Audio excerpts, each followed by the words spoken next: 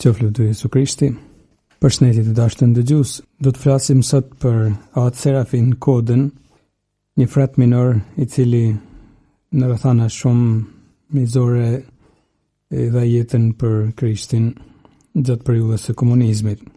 Do të flasim për këtë person mjaft të pastër shpirtërisht, i cili zgjodhi të ketë edhe emrin Serafin, kur mori kushtet e para me fillimin e noviciatit në gjinin e provincës Françeskane Shqiptare, e kishte emrin Gjon, e ashtu sikurse zgjodhi emrin Serafin, Serafinët janë ato engjëj që kisha beson se janë ma afër Zotit, ashtu sikurse kishte emrin, ashtu zgjodhi të kishte edhe shpirtin. Të kishte një jetë të ndershme, një jetë të thjeshtë prej Françeskani, edhe një jetë të varfën, thellësisht të varfën. E të ishte sidomos i varfën në shpirt i shkëputun prej të mirave të kësaj bote e i rrënjosun në Krishtin. Janë disa fjalë të Ungjillit që mund të na ndihmojnë për me kuptu jetën, jo vetëm të atë Serafinit, por e shumë martirëve.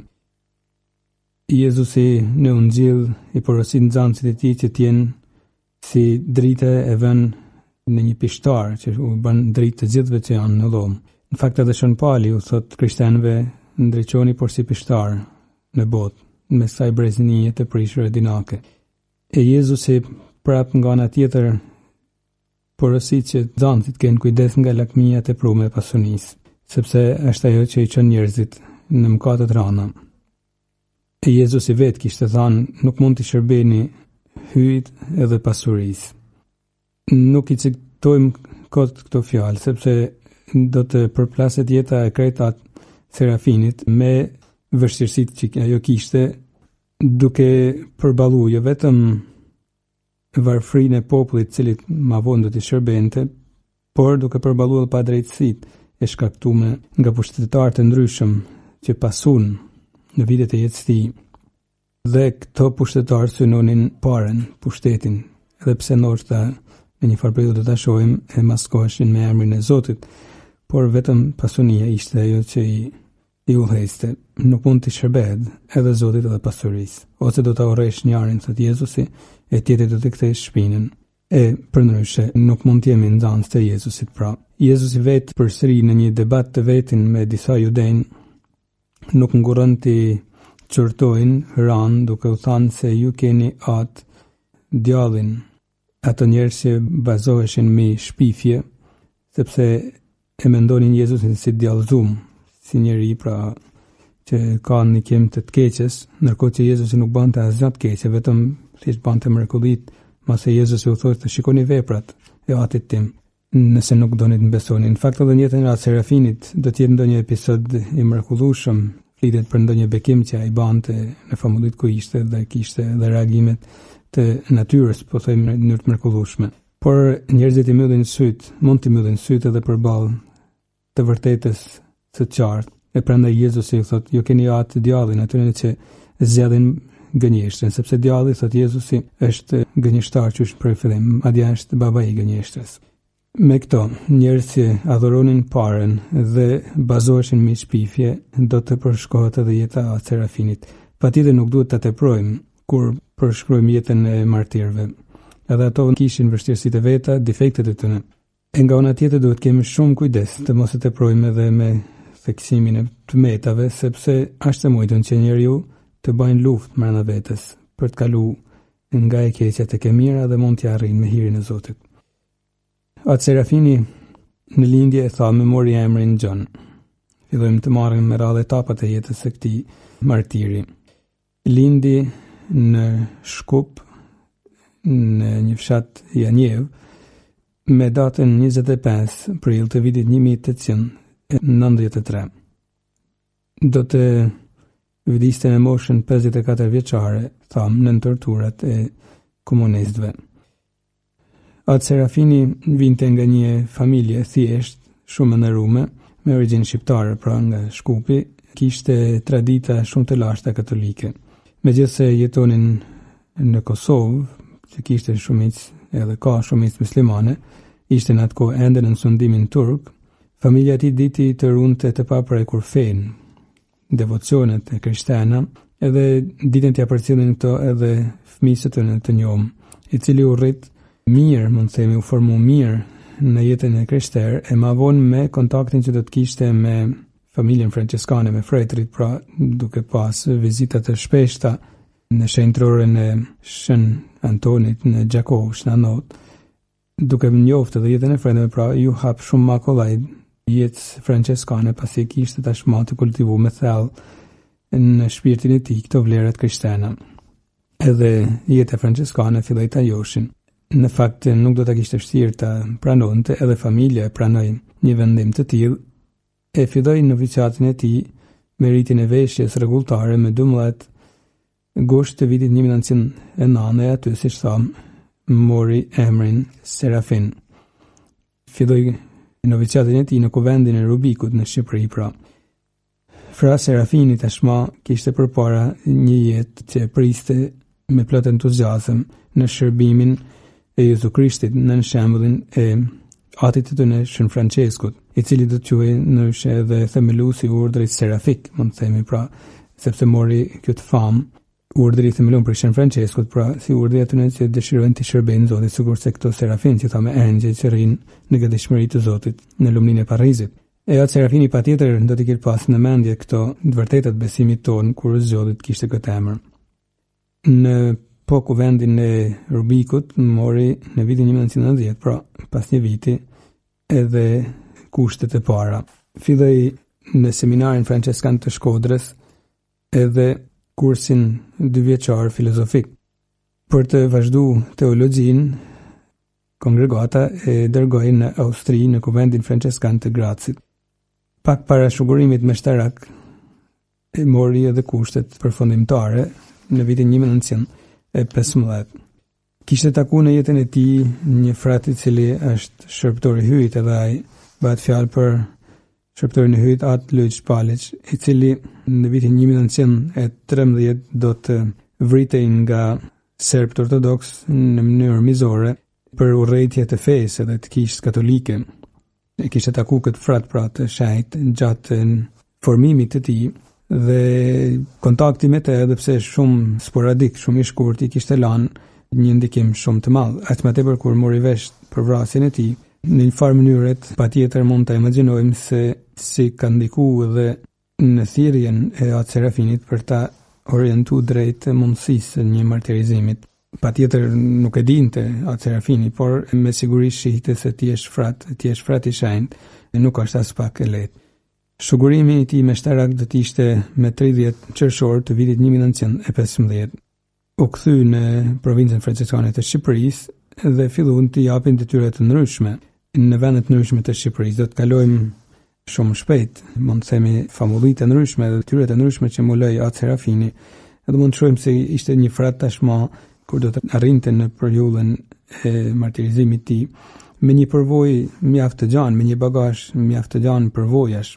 Edhe të vjen të mendosh se sa keq komunizmi i sharroj mund të themi këto njerëz që kishin shumë për të dhanë Shqipërisë, kishin kriju një mënyrë të menumit shumë të bukur, shumë të saktë, të njihnin mirë popullin e mentalitetin shqiptar, por komunizmi nuk donte t'ia dinte. Kjo ishte humbje, një humbje katastrofale për Shqipërinë, jo vetëm në radhë të klerit, por në shumë radhë të tjera intelektuale. Por kësaj do t'i kthehemi më vonë.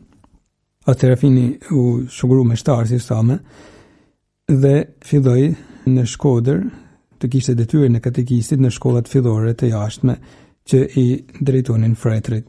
Menjëherë pas kësaj detyre, u dërgu të mësonte klerikët e rinj në Rubik. Në shtatorin e vitit 1919, u caktu famullitar në Zym, e cila ishte me dioqezën e Shkup-Prizrenit të asaj kohet.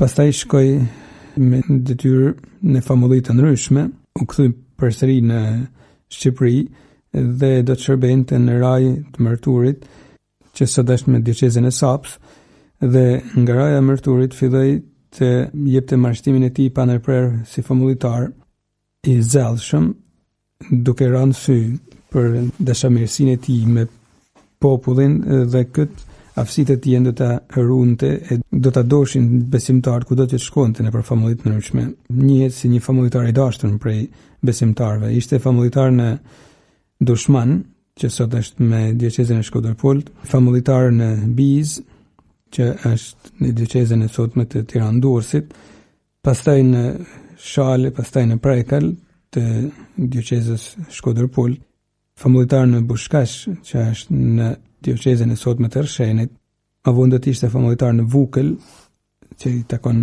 përsëri Shkodër-Pult, dhe së fundit do të jetë famullitar në Lezhë, Deri në kohën kur do të arrestohej, do të ishte nga viti 1941 deri në kohën kur do të arrestohej famullitar në Lezhë. U zgjodh definitor provincial i provincës së Fretënve në Shqipëri, në një farë periudhet, edhe ishte përkrah të lumëve tjerë si i lumi At Mati Prenushi e At Çiprian Nikaj.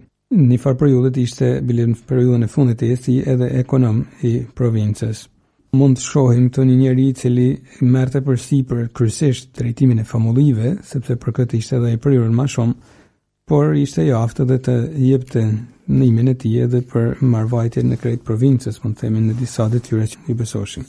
Duke u ndalë te tiparet e tija, kishte një trup mesatar e të mbushun, me flokë gështenjë, Për nga karakteri gjithmonë thuhet se ishte i qetë e i qeshun, njeri i kujdesshëm, shumë i butë dhe i komunikushëm, i hapun e mikpritës, por nga ana tjetër edhe dinte të ishte i vendosun.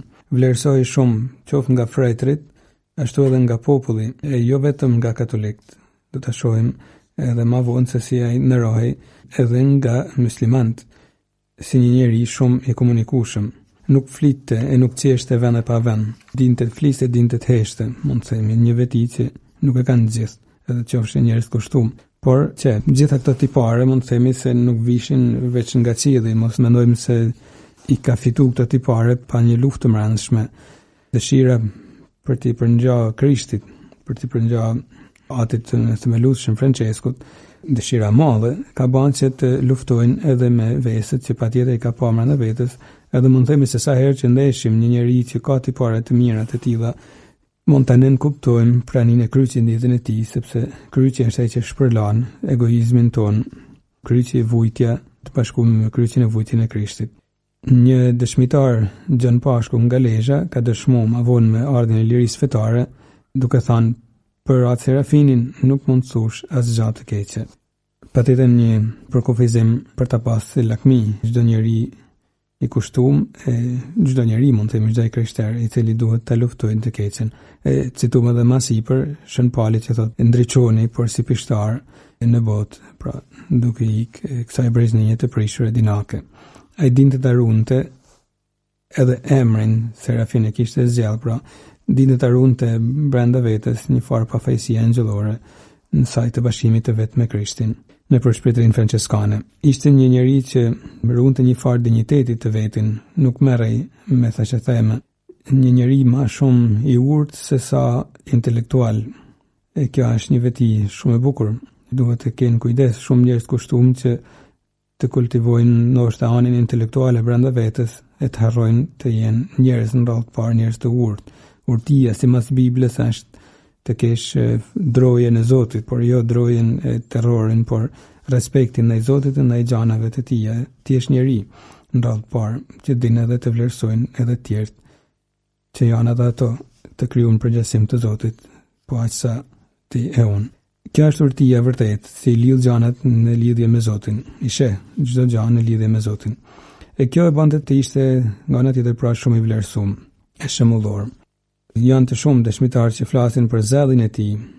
Para meshe ai gjithmonë në famullit ku shkonte e shërbente kishte zakon të nalej e të bisedonte me njerëzit që gjendëshin, pra mund të imaginojmë shpeshherë burrat rrinin para meshe dhe sot e kësaj dite ka fshatra që praktikojnë një gja të tillë, por në atë kohë, me sa duket nëpër male, sidomos e praktikojnë shumë, rrinin para meshe të diskutonin, të flitnin, sepse ishte ndoshta edhe i vetmi rast ku mund të takoheshin, edhe me ta përzihej. At Serafini, është kurioze se si nganjëherë përgatiste edhe gjatë javës ndonjë gja të vogël për t'i qerasë ata që ishim në oborr të kishës para meshës të dielës. Në predikimet e veta ishte një njeri i thjeshtë, por plot me fjalë që i duheshin njerëzve në jetën e tyre të përditshme, aq sa nguliteshin në zemër, edhe thuhet se njerëzit e kishin shumë të kollajt kur ktheheshin në shtëpi, për të thënë atë që kishte thënë atë Serafini në predikim. Ndër të tjera, në kohët e turbullta, atë Serafini thoshte edhe fjalë si këto: Mos e harroni Zotin. Mos i harroni mundimet e Zotit. Dëshmitari që cituam ma sipër Gjon Pashku nga Lezha, thoshte se kur fliste për mundimet e Zotit, ai edhe përmallohej. Kur po afrohej Përndjekja komuniste i nxiste besimtarët, duke u thënë mos u trishtoni sepse feja në Krishtin do të kthehet edhe më e fortë. Janë fjalë vërtet të guximshme t'i thuash kur e sheh se gjithçka duket se ka marrë të poshtën, edhe po përfundon. Por janë fjalë që bazohen te fakti se Krishti ka vdekur e është ringjall, e asgjë nuk mund ta mposhtë, sepse fenë e mban Krishti, e jo urtia e hierarkëve kishtarë. kujdesej shumë për formimin e vet shpirtëror edhe për këtë arsye dinte të ishte një njeri që e ruante atë drojën e shenjtë të Zotit edhe donte të kultivonte brenda vetes edhe përshpirtërinë, sepse përndryshe mund të humbiste, duke kërku në çdo detaj të jetës tij edhe mretrinë e Zotit. E ky zell, që e kultivonte pra, ky zell për mretrinë e Zotit, atë e shfaqte edhe në jetën e tij baritore. E thamë edhe më sipër se si nganjëherë mallëngjehej kur fliste për mundimet e Krishtit. E kjo ishte ndoshta dhe fryt i meditimeve personale që ai bante, dëshira e tij për t'iu afru mundimeve të Krishtit për shëlbimin e botës e për kthimin e botës. Kishte një devocion të madh ndaj Zojës Bekume edhe ndaj Shna Ndout. E thamë me familjen me sa duket shkonin shpesh në shenjtëroren e Shna Ndout në Gjakovë. E luste vetë rruzaren shumë dhe i porosiste sidomos gjatë muajit maj edhe familjet që ta lusnin rruzaren në famullitë e veta. e duke i nxitë që të banin edhe flijime të vogla besimtarët në jetën e tyre të përditshme. Edhe mbasi kishte ik nga famullia, duke i lanë të gjalla këto shenja devocionesh, mund të themi në praktiken e besimtarëve që vinin në kishat ku shërbente. Mund të shohim bukurinë në vërtetë të një bariut, i cili ma fort se të lanë gjana materiale përpiqet të lanë fenë gjallë, ndërtojnë kishën e gjallë të Zotit që janë të krishterët. Me gjithë butësinë që kishte dhe përkushtimin ndaj vëllezërve të vet, nuk mund t'i shpëtonte urrejtjes së pushtetarëve të ndryshëm që ishin në atë kohë në drejtimin e vendit. Në këtë rast do të përplaset në vitin 1920 e mrapa, pak a shumë, me urrejtjen e serbëve ortodoksë të cilët në atë kohë kur ishte famullitar në Rajë të Mërturit, që është në dioqezën e Sapës sot, pra në Shqipëri, kishin ardhë serbët duke pushtu, dhe nuk do t'i shpëtonte urrejtjes së tyne as atë Serafini, aq sa vërtet do ta arrestojnë. Vizituesi apostolik i asaj kohet, imzot Ernesto Koci, shënoi kështu në një formular të vetin, duke ba një relacion për situatën që kishte pa në atë zonë. Shkruante, famullia nuk është vizituar meqë është e pushtuar prej trupave serbe. Famullitari, pra Serafin Koda, në këtë kohë, bëhet fjalë për 20 gushtin e 1920, gjendet në burgun e Gjakovës, së bashku me famullitarin e Pejës, me famullitarin e Zllakuqanit, me famullitarin e Prizrenit, të akuzuar për propagandë antiserbe. Edhe aty do të rrinte pothuajse një vjet e gjysë, pak a shumë, në burg. Gja që mund ta imagjinojmë shumë lehtë se kishte ngjall një frikë mund të themi në gjithë provincën e fretënve. Frikë që mund të kuptohet, sepse askush nuk duhet ta kërkojë martirizimin, por duhet ta shmangë sa të jetë e mundun, por të jesh i kujdesshëm nganjëherë është e pamujtun me intrigat që arrijnë të thurin politikanët që janë të dhanun mas pares. Dhe do të shkruhej edhe ma vonë se me shumë vështirësi arritën tratativat për ta ba të dilte nga burgu atë Serafini. Do të shkruante më 14 nëntor 1921-shit, ministri provincial i atëhershëm këto fjalë, marr pjesë në gëzimin e përbashkët që na fali lajmi i mirë i lirimit nga burgu i etërve tanë, Klement Miraj dhe Serafin Koda, të shkretët, kishin vuajtur shumë, por me sa duket qeveria serbe nuk ka për qëllim t'u japë pasaportë për të ardhur në këto anë. Vetëm mas pak kohësh do të arrinte të ndryshonte pak situata dhe atë Serafini mund të vinte në Shqipëri, i thirrën prej provincës shqiptare pra për të shërbyer në Shqipëri. Kuptojmë në këtë formë se si thashë e keqja fillon të përplaset vetë, është një dallgë e cila bjen mi shkamin. i cili rrin në vendin e vet, atë Serafini rrinte në vendin e vet në kuptimin në thirrjen që Zoti i kishte ba. Por dallga e së keqes shkon ta godasin edhe atje ku ishte. E dallga e së keqes patjetër do të ishte edhe ma e fortë në të ardhmen, por nuk ishte aspak e lehtë edhe në këtë periudhë kur forcat serbe kërkonin të banin ligjin jo vetëm në zonat ku kishin pushtu për shembull Serbia me andrën e tyne për të kriju Serbinë e madhe, por edhe në Shqipëri tashmë do ta thrrisnin atë Serafinin provinca françeskane e Bosnjes për të shërby atje. Por me shumë të drejtë, ministri provincial i asaj kohe në provincën shqiptare, atë Pashko Bardhi, nuk donte ta linte të shkonte edhe për të mos e humbë një njeri të çmueshëm si At Serafini, por edhe për një kujdes shumë praktik, baritor, atëror të tij, që kishte përgjegjësi mbi jetën e tij dhe në fakt, sikur të kishte shku Në atë kohë do ta kishin sulmu shumë ma shpejt, do ta kishin arrestu shumë ma kollaj serbët, sepse edhe në Bosnje vërtet kanë ba masakra të ndryshme në klerin e asaj kohe duke arrestu, duke vra shumë prej tyre. Arritën kështu vetëm t'ia frenonin martirizimin atë Serafinit për disa vite, sepse ma vonë do të përplasej mbi të edhe urrejtja komuniste. Por jemi në këtë periudhë kur dallgë të ndryshme politike shkaktojnë shumë trazina në Shqipëri e në vende të ndryshme. E thashë edhe në fillim, kush i shkakton këto dallgë, ato njerëz që nuk kanë të ngopun me pushtetin, nuk kanë ngopun me paren, e nga ana tjetër, thurin mretnin e tyne me gënjeshtra e me shpifje. Me gënjeshtra me shpifje, sepse për shembull, ishte dëshira e thashë për të kriju Serbinë e Madhe, por Nën maskën e një patriotizmi, mund të themi, atdhedashurie që ato e propagandonin për Serbinë në radhë, e bëheshin masakra realisht të forta duke shpif mbi këto njerëz që gjoja kanë fol kundër politikës tonë paqësore, politikës tonë përparimtare.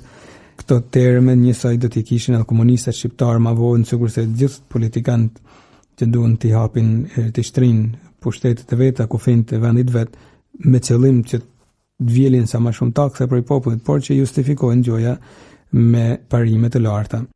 Kaq është vërtet se, se bahej fjalë për shpifje e për poshtërsi nën maskën e një atdhedashurie, saqë nuk kursyn dhe jetën e Atë Shtjefën Gjeçovit, pasi kishin vra edhe Atë Luigj Paliç, siç e përmendëm ma sipër.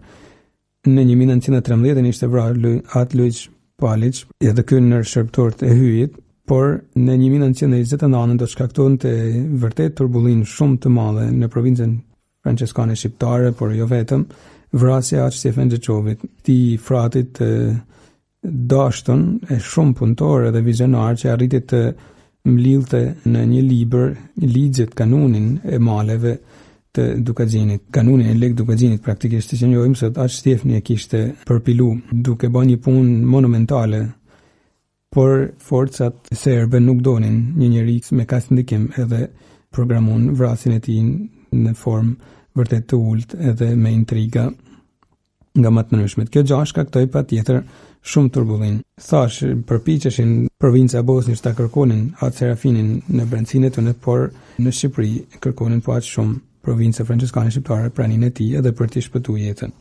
Atë Serafini do të shërbente kështu shumicën e kohës edhe për shkak pra të një kujdesi që të mos shkonte atje ku Prejardhja e tij, duke qenë nga Shkupi, të mos krijonte përplasje edhe ma të mëdha me pushtetin serb, do të shërbente në Shqipëri.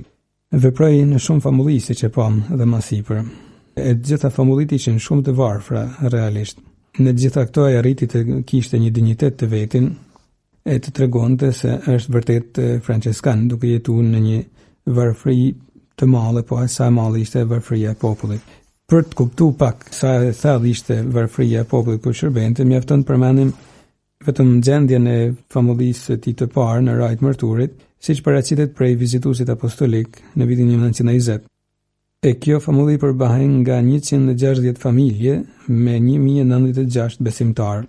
Pos 30 myslimanë që kishte ajo zonë. Në familjet katolike ishte zakoni për të pagu hakun e kishës, siç themi, dhe i thonin atë kohë e dhjeta e të ardhunave, që shkonte për famullinë, por të dhjetën nuk arrinin ta paguanin pothuajse asnjë. Për shembull, mjaftonte të pagueshin 10 okë misër, një okë ishte pak a shumë një kilogram e gjysmë, 10 okë misër në vit, për çdo familje dhe 10 okë djathë për familje. Por në 160 familje mësohet se kishin arrit të mbledhin vetëm 400 okë.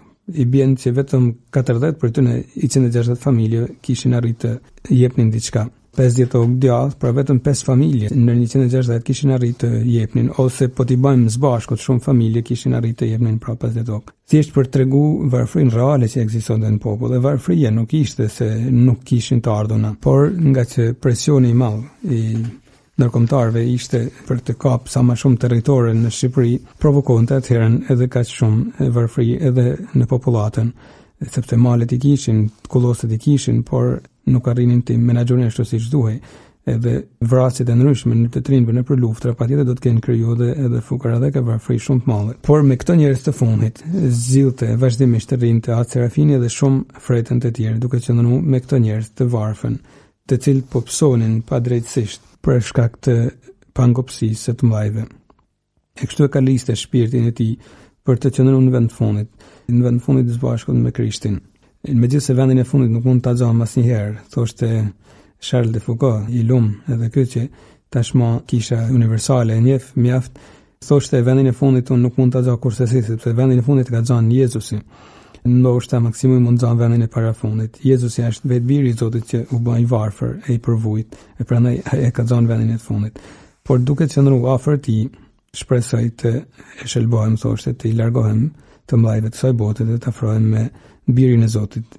E kështu, duke qëndru me njerëzit ma të varfen, atë Serafini qëndronte afër Jezusit, i cili ishte koka e trupit të tij që është kisha. E në këtë rast kisha e tij po vunte. Në fakt do të thoshte i lumi imzot Vinçenc Prennushi në një letër të tijen se fretnit tanë punojnë nëpër famullina kaq të varfra sa që mund të themi se duke qenë se atje gjejnë kënaqësinë e tyne si fretën duke punu me zell, kështu po përgatiten të jenë gati edhe për sakrifica të reja. Në një farë mënyrë imzot Vinçenc Prennushi do të profetizonte se martirizimin e tyre se do ta jepnin jetën edhe përballë sakrificave të tjera më të mëdha. Duhet të themi diçka, të kemi kujdes nga përshkrimet ndoshta tepër fataliste që bajmë sot për gjendjen e kishës, sidomos njerëzit e kushtum, duhet të kemi shumë kujdes, sepse nuk ka të krahasum situata e të ardhunave të sotme ndoshta me të ardhunat e atëhershme që kishin njerëzit e kushtum që punonin në kushte vërtet, vërtet të vështira, realisht të vështira. duke mos pas ndoshta përveçse të hanë pak bukë, në raste ma të mira ndoshta edhe pak djathë. Por, kështu mund të mësojmë se duhet ta mbyllim nganjëherë gojën përballë ankesave të cilat nuk kanë të sosun, në qoftë se arrijmë të fokusohemi tek të mirat që mungojnë. Por, në qoftë se i afrohemi Krishtit, atëherë dimë të shojmë bukurinë e varfërisë e cila të bashkon me njerëzit e fundit e kështu banën edhe At Serafini me shokë. Do të ishte e njajtë edhe gjenja e tij në famullinë e Bizës, që është me dioqezën e Tiranë-Durrësit sot. Do të vazhdonte edhe atje të jetonte në një varfëri vërtet të madhe. Megjithatë, duke pasë një varfëri kaq të madhe sa që njerëzit nuk arrinin as të pagunin ndoshta jo vetëm hakun e kishës, por as minimalen për të ndihmuar famullitarin, ai nuk dorëzohej të ndërtonte një klasë sa për të formu pak të rinjtë, sikurse banin zakonisht fretnit.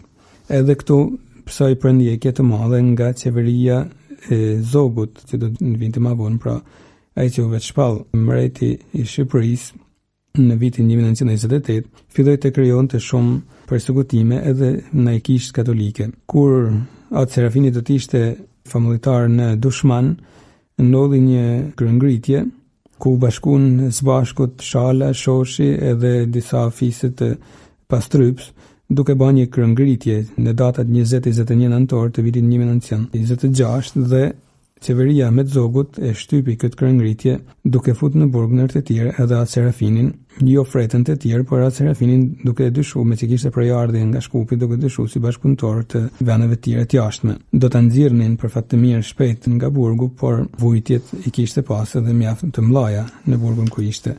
Pra shikoni, një njeri i drejtë, i mirë, por që mi të cilin do të përplaset egërsia e botës e të keqes. Nuk u prek, në fakt, nga pushtusit italianë e nga gjermanët.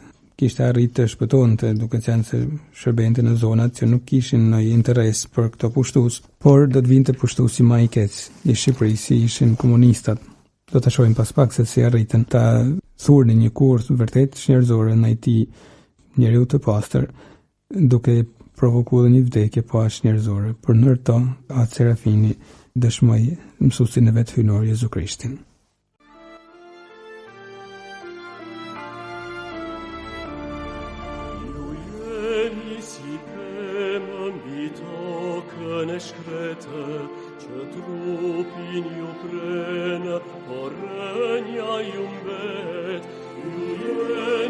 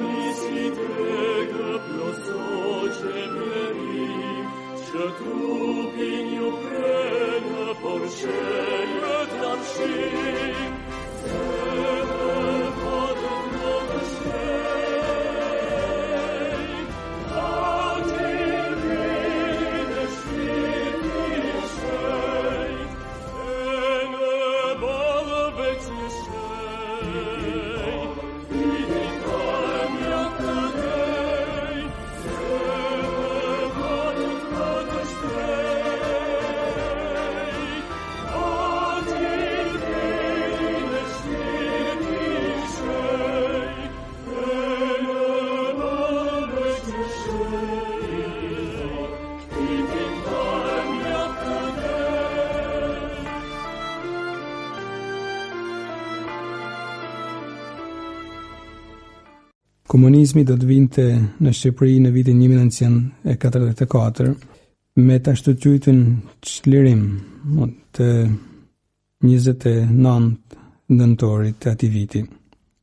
Kthehemi të ashtuquajtunin çlirim, sepse në fakt nuk ishte çlirim, do të ishte pushtimi ma gjakatar i bam prej vetë shqiptarëve në këtë rast.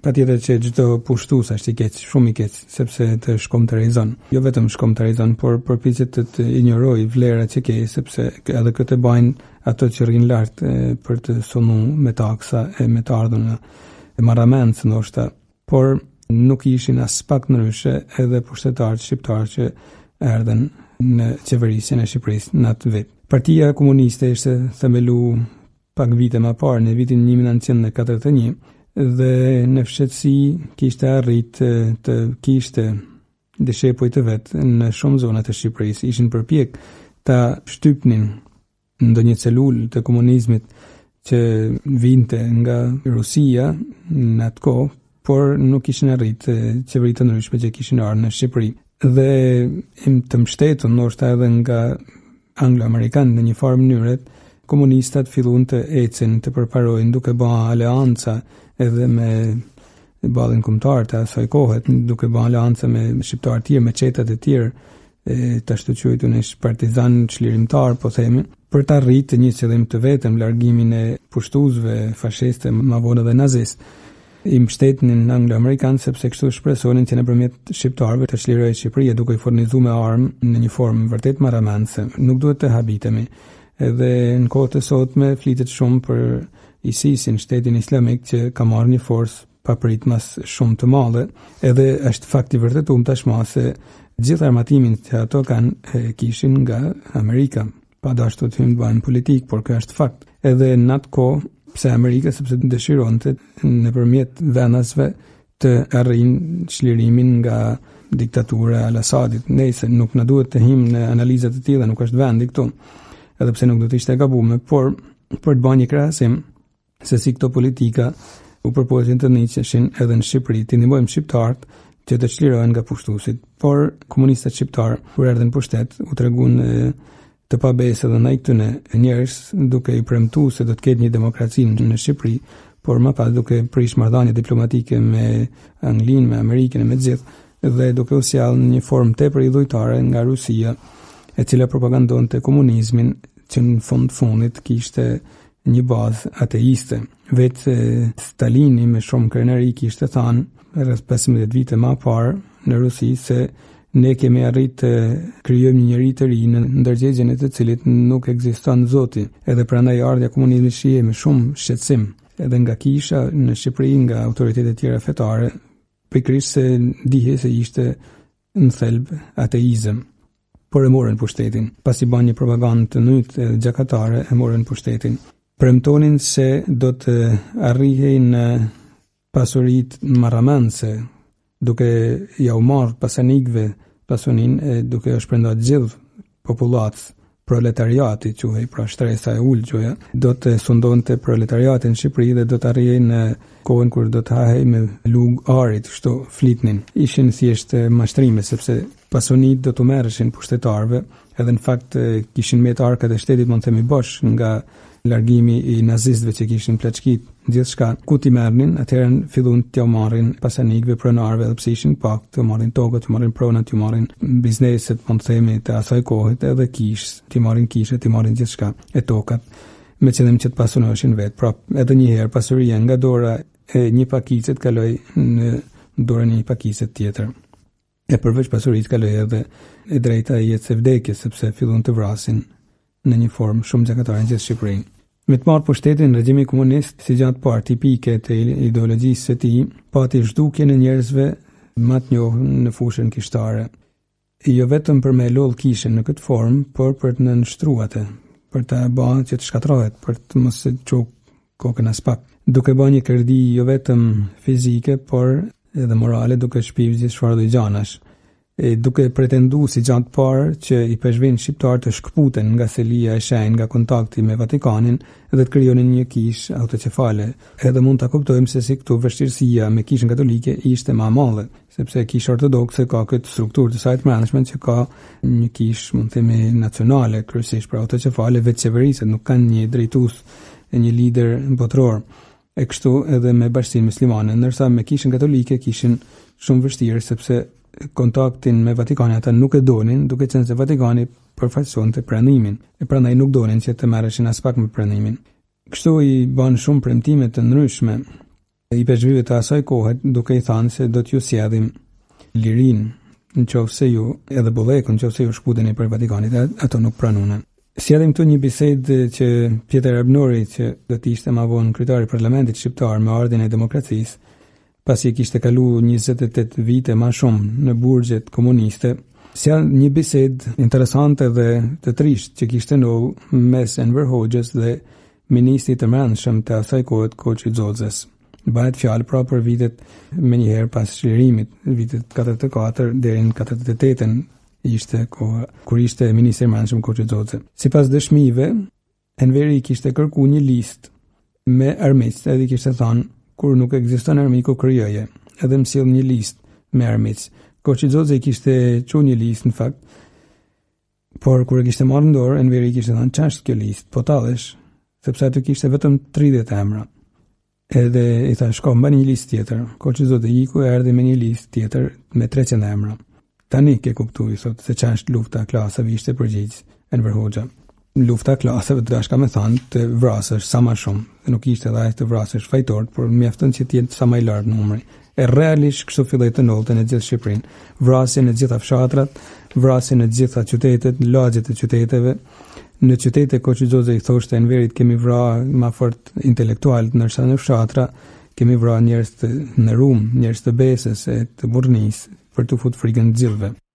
Një politikë shumë gjakatare, shumë e ndytë, shumë djallëzore, sepse kishin për bazë gënjeshtrën, mashtrimin, për t'i thanë njerëzve se ne jemi me popullin, ndërkohë që pikërisht popullin po masakronin, sa nanat i kishin lanë pa fmi. Është ajo fjala e Jezusit që thamë n'fillim, pra kishin atë djallin i cili mashtron gënjeshtar që është prej fillimit e këta po i shërbenin për ta rritë pasuninë. e Zotin nuk mund ta pranonin në punët e tyne, përderisa kishin zgjedhë të ishin shërbëtorë me mish e me shpirt ndaj mbledhjes së pasunisë. Jezusi vetë e thamë në fillim, ka thanë, nuk mund t'i shërbeni dy zotërinve edhe pasurisë edhe Hyjit. E si pasojë, do të pësonin shumë edhe kisha katolike që i shërbente Zotit të gjallë që ka zbrit në mesin tonë, është ba njeri Jezu Krishti, biri i Zotit, duke na dëshmu ftyrën e një Hyji dashuri, Trini. E fretënit në atë kohë kishin një begati vërtet të bukur në Shqipëri. Kishin arrit të kishin një jetë mjaft të madhe të gjanë në fusha të ndryshme. Sjellim këtu të plot atë që përshkrun atë Daniel Gjeçaj në një shkrim të vetin në lidhje me provincën Franciskane Shqiptare të asaj kohe. Thjesht po e lexojmë për të kuptu se sa e madhe ishte fusha e veprimit të fretënve, e sa e plotë, sa e shnoshtë. Shkrun atë Daniel Gjeçaj, Provinca jonë françeskane, themeluar në vitet e para të urdhrit, dhe nëse duam t'i qëndrojmë besnikë traditës nga vetë Shën Françesku i Asizit, u fuqizua dhe u organizu gjithnjë besnike ndaj traditës françeskane të flijimit me popullin dhe për popullin. Viti 1944 e gjeti provincën tonë të formuar mirë dhe në lulëzim, në fakt kishte në duart e veta ma shumë se 30 famulli, 4 kuvende, mes të tjerash atë të noviçatit në Troshan dhe atë të klerikatit në Shkodër. Me 24 fretër të rinj, mes novicëve dhe klerikëve, kishte kolegjin e vet Serafik në Shkodër, me 30 fretër e seminaristë. Mbante shkollat fillore dhe gjimnazin klasik publik, Ilirikum pra. i njohur nga shteti, kursin e filozofisë dhe vitet e para të teologjisë, po ashtu zotëronte një bibliotekë me mbi 20.000 vëllime, e pasuruar nga dokumente të vjetër dhe dorëshkrime të autorëve e të politikanëve të njohur, lidhur me historinë kombëtare dhe letërsinë. Kishte njërin prej muzeve ma të mirë, themeluar nga i ndjeri Atë Shtjefen Gjeçovi, i njohur dhe fort i vlerësuar edhe jashtë vendi për veprën monumentale të Kanunit të Lekë Dukagjinit. Kishte edhe një koleksion të pasur numizmatik, një pinakotekë të vogël, një tipografi të pajisur me makineri të reja, me të cilën françeskanët shtypnin revistat e veta kulturore dhe fetare si Ylli i Dritës dhe Zani i Shna Ndout. Drejtonin me rezultate të mira urdhrin e tretë Françeskan, Rininë Antoniane, bijat e Marisë në varësi të stigmatineve. Mbanin dhe drejtonin një kompleks vokal dhe instrumental, një sallë teatri, pranë të cilit u formuan aktorë teatrorë ma të njohur të Shkodrës. Ishte logjike që kjo qendër kulturore katolike dhe kombëtare që i kishte dhënë popullit shqiptar një varg shkrimtarësh dhe poetësh, të ishte një halë në sy të partizanëve komunistë në duar të cilëve ra Shqipëria më 29 nëntor 1944. Me këtë datë, provinca Françeskane e Shqipërisë fillon kalvarin e kishtë durushme, fillon të ujisë me gjakun e vet arën e mbjellë, vreshtin e ruajtur me kaq përkujdesje për shtatë shekuj. Fortuna e tërbuar, uragani që vinte prej Rusisë bolshevike, kafsha e egër e zbulesës, të apokalipsit pra, që pas flamurit të rremë të paqes dhe të lirisë së popullit gëlltiste vendet ballkanike, Poloninë katolike, Hungarinë e shenjtorëve, Bullgarinë e Rumaninë, Jugosllavinë, duhet të villte vrerin, madje të shfrynte urrejtjen e zemërimin në brigjet e Adriatikut të Shqipërisë. Ujku i egër i mbuluar me gëzof qengji hynte triumfues në Shkodër, qyteti i fundit i ranë nën komunizëm, me dukjen e zakonshme të luftëtarit kundër fashizmit dhe nazizmit, të çlirimtarit paqësor, të rojtarit të moralit e të fesë, të traditës dhe të kulturës. Një ujk me gëzof qengji, pra, që do të shkatërronte anën ma të bukur. të shqiptarisë. Në fakt fretnit përfaqësonin traditën, nëse jezuitët kishin anën intelektuale, ma n'pah, fretnit karakterizoheshin për këtë aspekt, sepse karakterizonin traditën e gjallë shqiptare, duke e mishnu në të krishterimin, pra në këtë traditë, me vlera të bukra. At Serafini do të thoshte se komunizmi o do të zgjasin 6 vjet ose 50 vjet. E thoshte nganjëherë jo për të minimizu situatën, por për të kuptu se nëse nuk zgjat shumë pak kjo diktaturë që po vjen do të zgjasin shumë. E dinte se bëhej fjalë për problematikat e mëlla me cilat Shqipëria ka shumë mundësi që do të përballej, edhe në fakt do të përballej. Megjithatë, për dy vite, atë Serafini pak a shumë arriti të shpëtonte nëthonjëza. Edhe pse herë mas herë thoshte mos u shqetësoni, sepse këta Këtu shkojnë e vijnë, kurse Hyji do të jetë gjithmonë. Për rreth dy vite nuk do ta prekun komunistat edhe pse kishin filluar arrestimet. Ishte jo vetëm arrestimet, por edhe pushkatimet.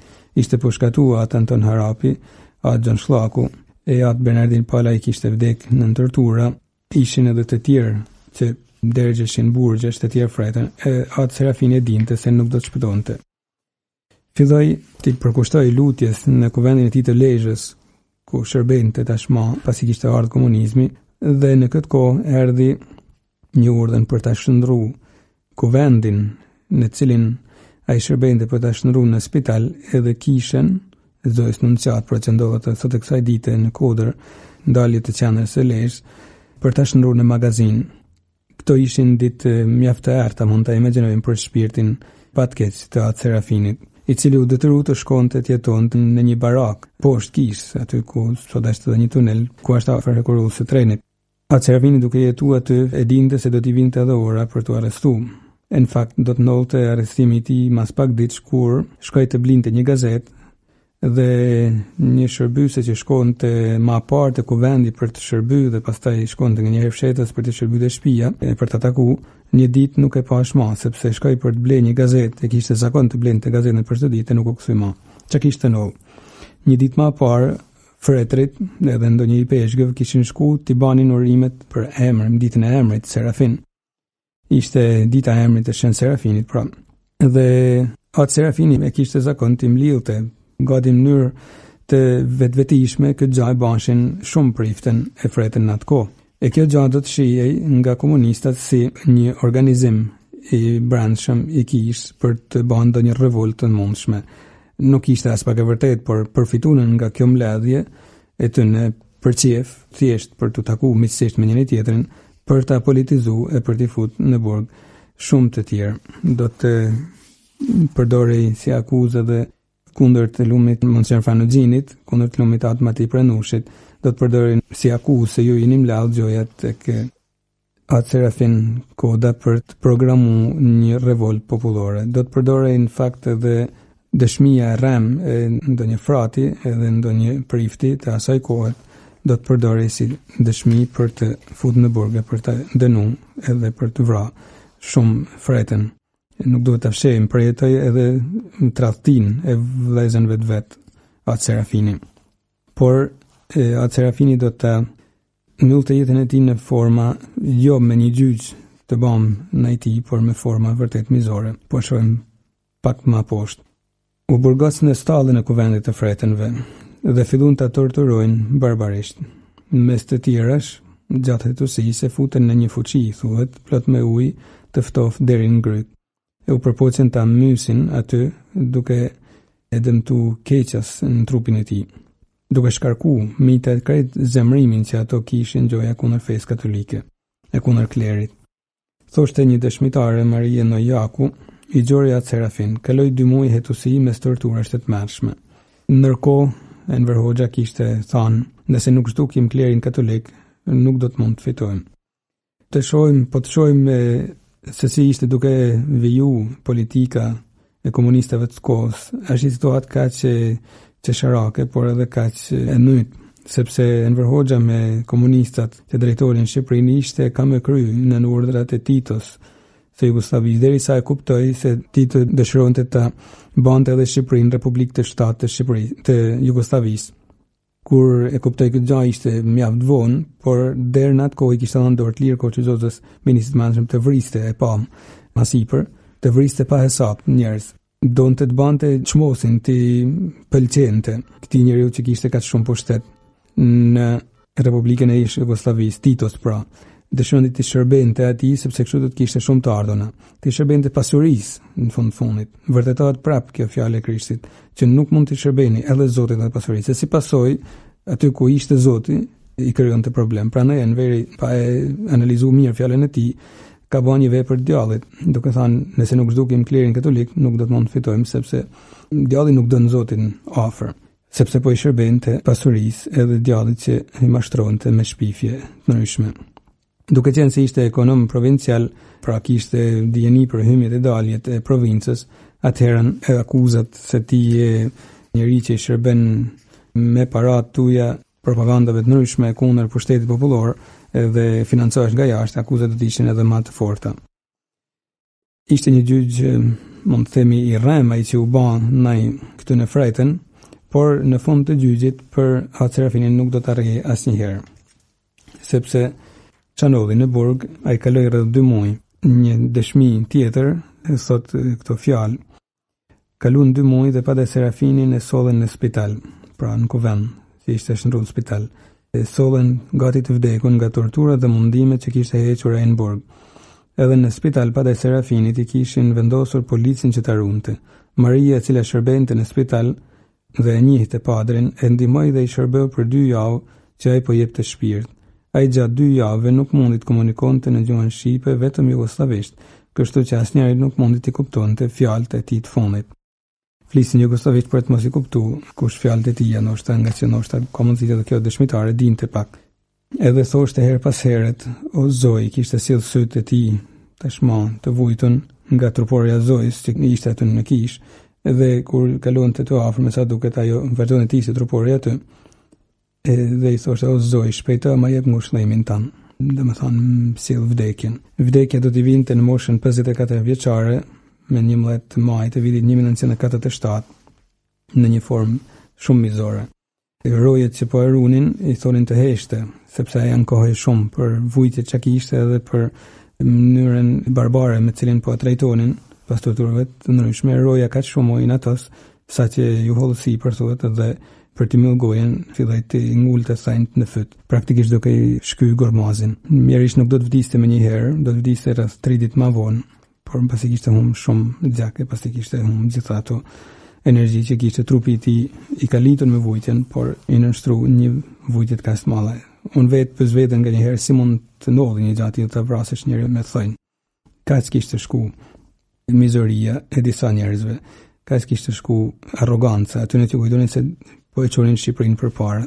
Nuk po e çonin Shqipërinë përpara, por po hynin në borxh në mënyrë të tmerrshme me gjithë Shqipërinë. nuk do të jetonte shumë, do të ishte një rrethanë që na bani të mujtun të kemi sot dhe eshtrat e tija.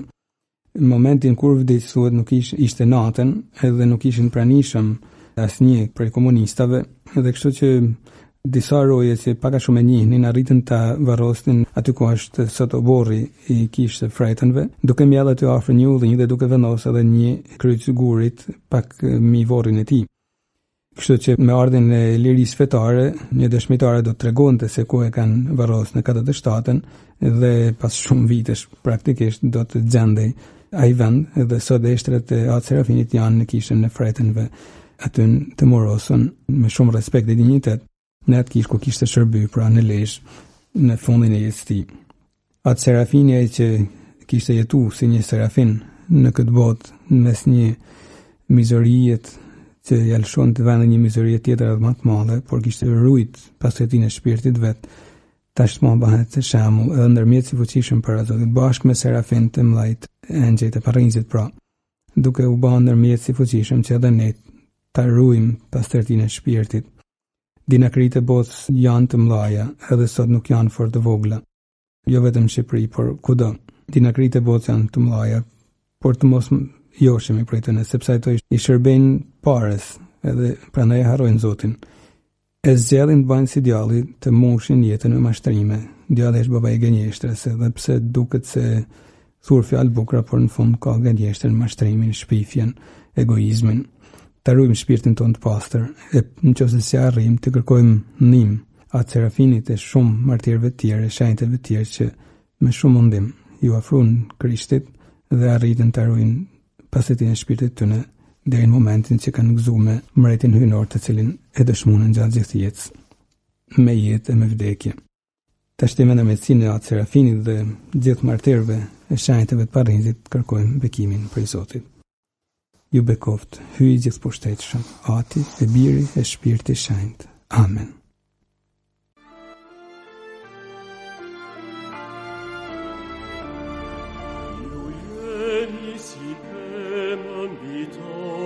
Në shkretë